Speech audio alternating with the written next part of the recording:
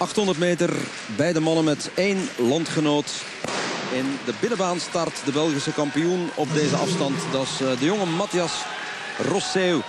Maar uh, voor de overwinning gaat hij hier uiteraard niet meespelen. In een sterk veld met uh, Kenianen en Qatarese. En het is de Keniaan Filemon Kimutai in het geel die het haaswerk voor zijn rekening neemt. Vooral ook uitkijken naar de man die nu in tweede positie komt. Jonge Qatarees Maget Saad Sultan.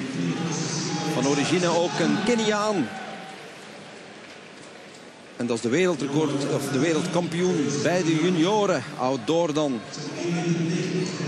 Michael Rotic met het witte truitje en blauwe broek in derde positie. We zijn halfweg in 51, 46. En onze landgenoot uh, Rosseu helemaal achteraan.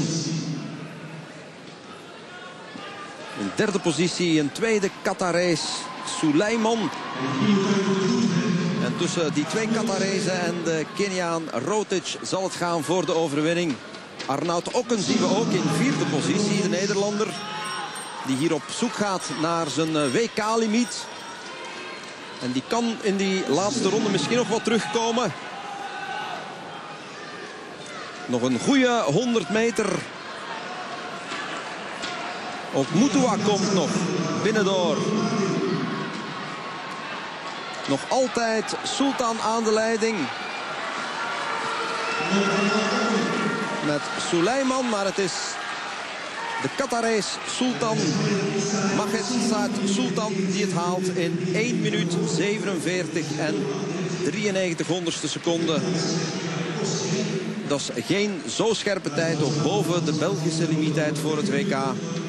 Wel een spannende race. En dit is de winnaar, Maget Saad Sultan.